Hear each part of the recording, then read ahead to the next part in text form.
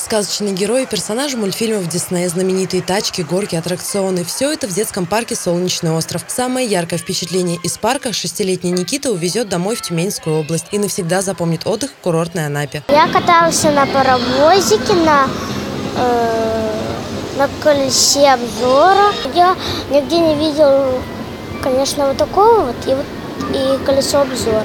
Парк рассчитан на 300 человек. Проектировали солнечный остров, учитывая интересы детей. Ровное, мягкое и безопасное покрытие на земле. Урны в виде сказочных героев. Даже туалеты расписаны вручную. Второго такого парка в России точно нигде нет. Выбор каждого аттракциона в парке не случайный. Мы взяли все самое лучшее, что сегодня производят в мире.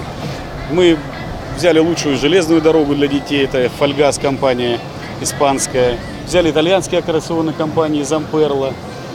Э, уникальное по своему дизайну колесо обозрения, которого нет больше в России.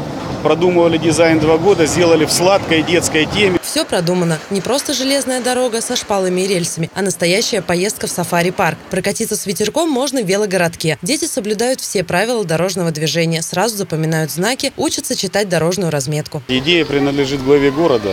Он посоветовал нам сделать не просто прокат детских велосипедов и автомобилей, а сделать именно тематический городок, где детки будут учиться правилам дорожного движения. Пионерский проспект – мека детских здравниц. Пройти мимо, не заглянув в солнечный остров, удается немногим. Не только малышей, но и взрослых привлекают необычные аттракционы. Все прошли проверку на безопасность. Закончила работу краевая комиссия по безопасной эксплуатации аттракционной техники, получили необходимые документы.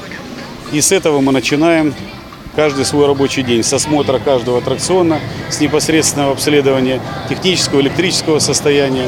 И так и будем держать высокую планку. Пока дети играют в парке, родители могут отдохнуть на территории парка или на прилегающей территории. В тени установлены лавочки. Через несколько дней откроется кафе. Все в едином стиле. Оказавшись в солнечном острове, дети и взрослые попадают в страну развлечений. 1 июня, в День защиты детей, пройдет торжественное открытие детского парка. Для детей из интерната и прививших особые таланты в сфере культуры, спорта, образования выделят 100 бесплатных билетов на аттракционы. И в центре города ждут маленьких гостей. Предприниматели и власти города приготовили подарок – тысячу бесплатных билетов на посещение парка 30-летия Победы.